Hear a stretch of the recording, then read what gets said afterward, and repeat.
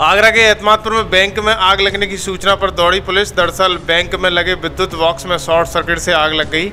गनीमत ये रही कि अंदर तक नहीं पहुँच पाई। सूझबूझ के चलते ये आग पर काबू पाया गया। दरअसल मकान मालिक ने पुलिस व मैनेजर को सूचना दी थी।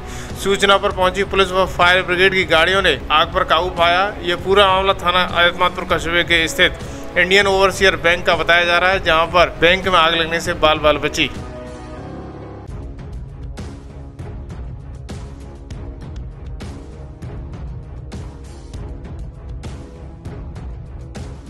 सुबह हम सात बजे साढ़े छः बजे करीब जब सबसे आए तो शटर से धुआँ निकलता हुआ मिला तो मालूम लगी कि इसमें आग लगी हुई है।